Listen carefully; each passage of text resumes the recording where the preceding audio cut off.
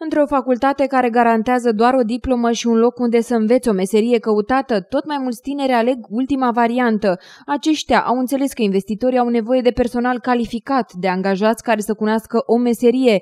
Din cauza că școlile profesionale au fost desfințate pentru o perioadă, piața muncii din România resimte astăzi o lipsă acută de muncitori calificați. Ceea ce avem acum pe piața muncii, uh, foarte puțin fac față noilor tehnologii și tehnici uh, aplicate. Noi vedem cu ei bun Uniunea Generală Industrială din România și la fel și filiala OLD, pentru că avem în, în discuție acum un protocol de parteneriat cu Ministerul Învățământului pentru înființarea uh, învățământului dual. Tot mai mulți patroni se plâng că nu găsesc să angajeze muncitori care să stăpânească o meserie. De câțiva ani, Ministerul Educației încearcă relansarea sistemului profesional de învățământ.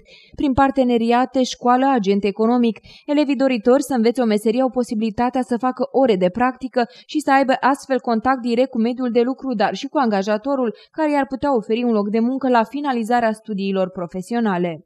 Meseria rămâne totuși brățară de aur, pentru că meserie înseamnă să fii și lăcătuș, și electronist, și metalurgist, să fii și inginer, și jurist, și doctor, tot meserie înseamnă. Important este ca elevii să facă cel puțin 50% practică productivă. Când uh, elevul termină 3 ani de zile de, de școală profesională sau de artă și meserii, zic ei cum, cum ar vrea, să aibă un bagaj de cunoștințe practic, dar și teoretic și în mod deosebit contact cu utilajul, contact cu tehnologia. La nivelul județului Olt, toate liceele tehnologice au cuprins în planul de școlarizare o serie de calificări care se cer pe piața muncii. Pentru a identifica meseriile care se caută la nivel local, Inspectoratul Școlar General păstrează o strânsă legătură cu agenții economici dispuși să primească elevi în practică. La nivelul județului, anul acesta ne-am propus să realizăm 24 de clase în 14 licee Uh, tehnologice. Spre exemplu, anul acesta, la Colegiul Tehnic Balș au fost propuse spre